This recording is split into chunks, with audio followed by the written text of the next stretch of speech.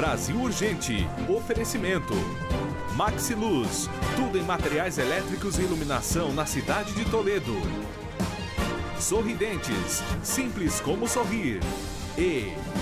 Ande. Tudo em materiais elétricos e iluminação em Foz do Iguaçu.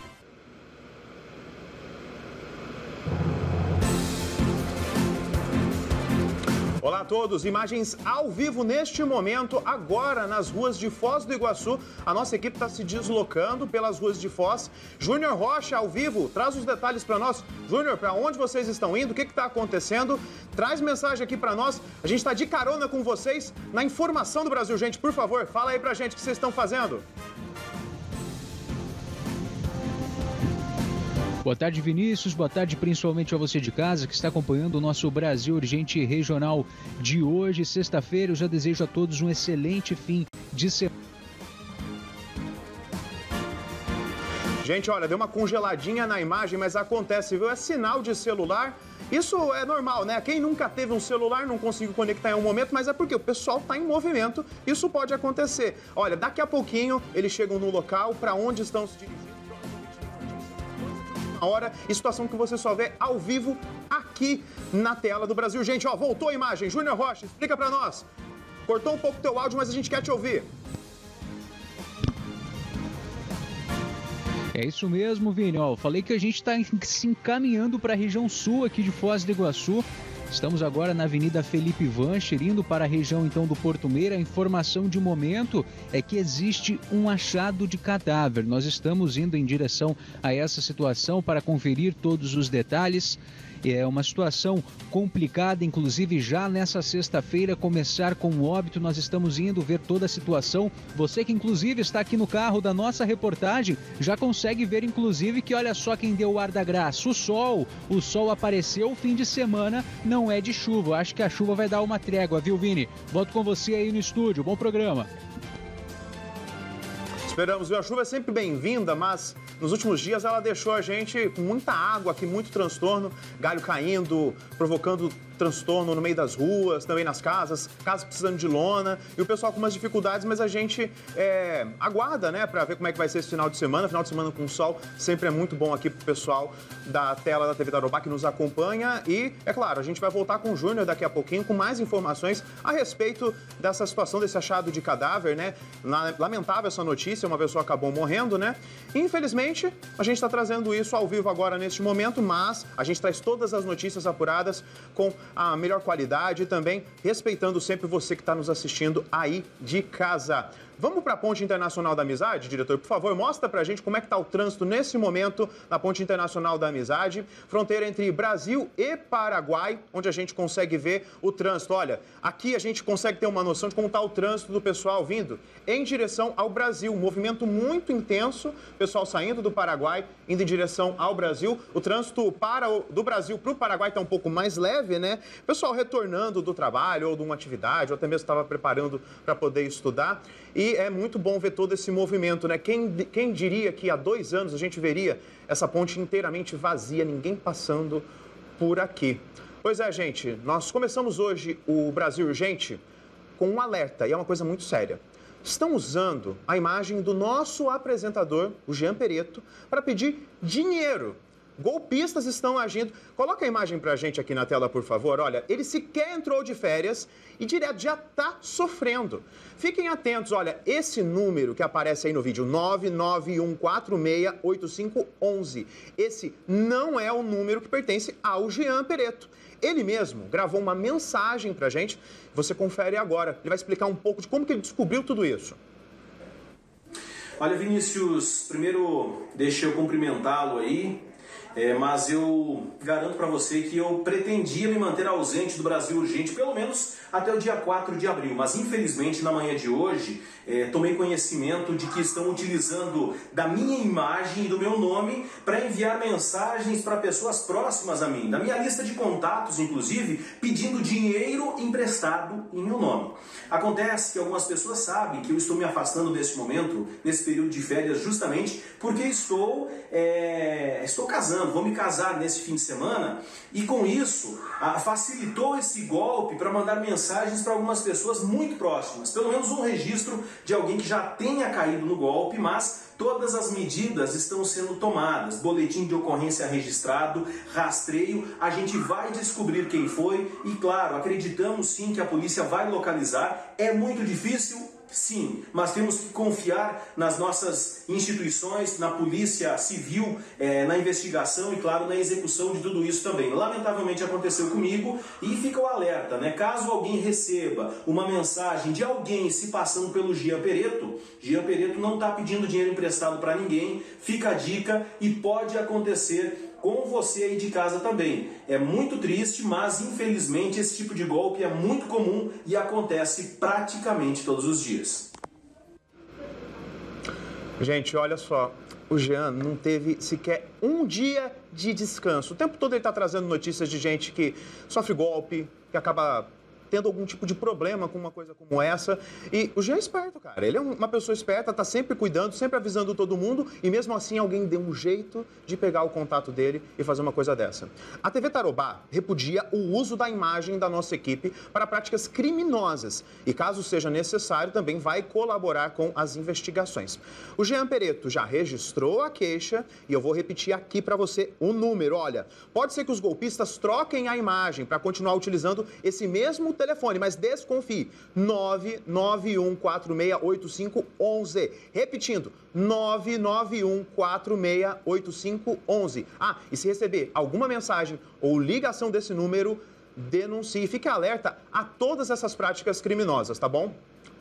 E olha só, esse negócio de golpe me deixa louco da vida. Não é, não é assim, poxa, que, que não vai ficar louco com uma situação como essa? E é difícil quando a casa cai para eles. Porque eles são muito espertos, dão um jeito sempre de safar, às vezes não tem como provar. Só que quando a polícia pega, a gente vibra. E foi o que aconteceu aqui no Paraná, no norte do estado, noroeste do estado. A Polícia Civil tirou de circulação bandidos que aplicavam golpes do bilhete premiado, famigerado bilhete premiado. Júnior Rocha, em Maringá, a Polícia Civil prendeu dois indivíduos suspeitos de praticarem golpes, ou seja, estelionatários. Eles são suspeitos de praticarem o golpe de bilhete premiado, que se resume basicamente em uma abordagem em alguma via, em alguma rua, em alguma calçada, principalmente nos grandes centros dos municípios.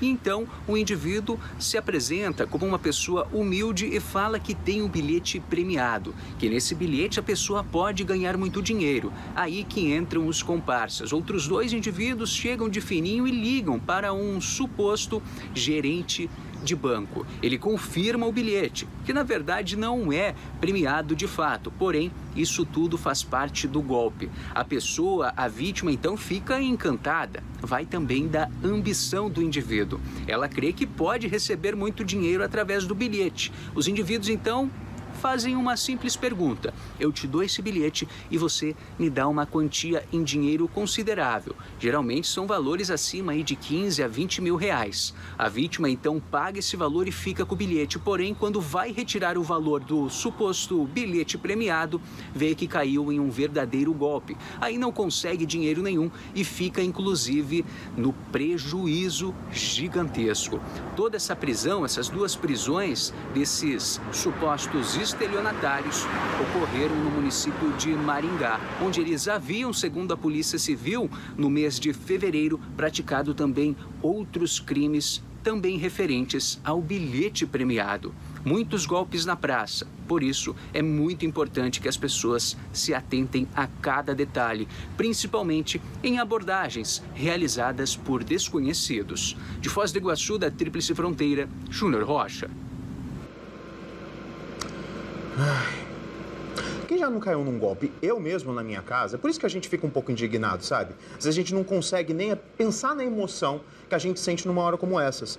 Minha esposa, por exemplo, foi alvo de um golpista. E um golpista, sabe, que fazia todas essas movimentações de um jeito que entendia de tudo que estava falando, era uma pessoa confiável, apresentava documentação e quando a gente menos percebeu, o cara pegou e saiu com dinheiro na mão. Mas foi pouca coisa. Agora, pensa em quem perde, sei lá, 3 mil reais, 10 mil reais, 50 mil reais. A gente vê direto em reportagens especiais, inclusive até mesmo na nossa programação da TV Bandeirantes. Gente, quantas pessoas acabam perdendo fortunas em depósito, dinheiro que já estava guardado?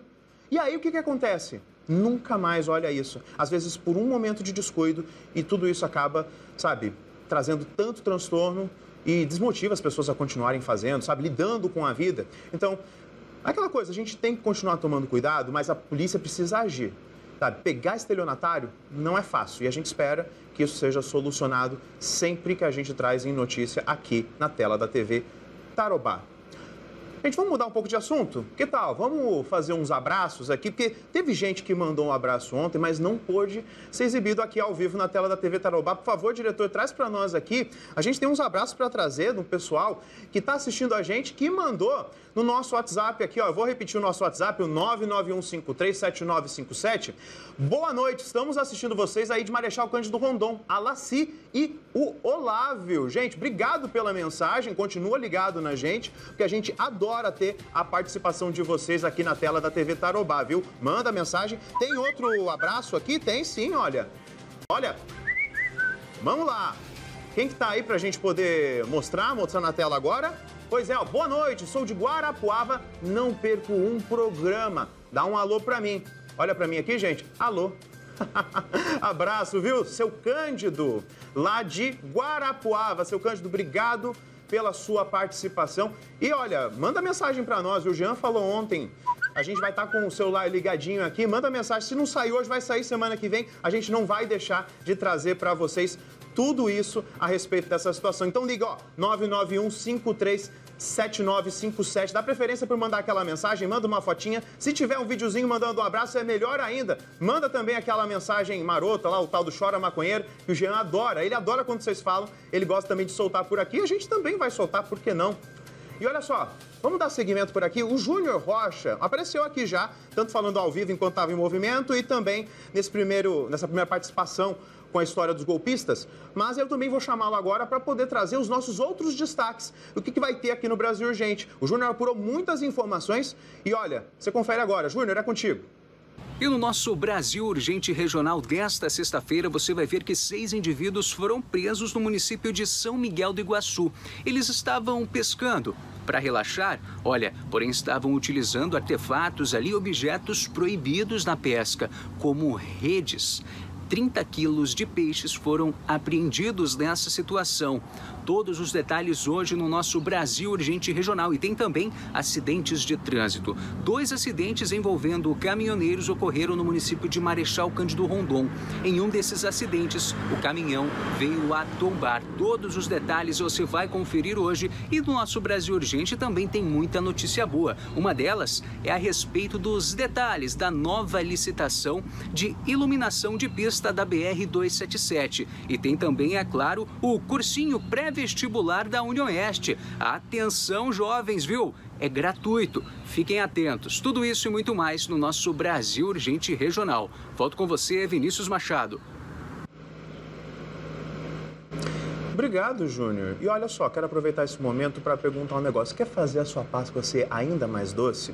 Vem cá, vamos ganhar um ovo de Páscoa? Como? O assunto é a Mega Visão. E quando se fala de Mega Visão, eles também arrumam ovos Mega. Pois é, corre lá. Além de você pagar mais barato nos seus óculos, na compra de qualquer produto, você concorre a um ovo de Páscoa gigante. Quer saber como?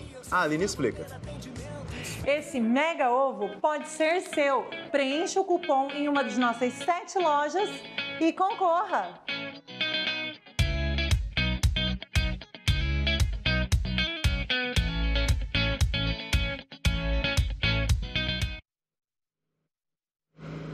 Gente, que ovão, né?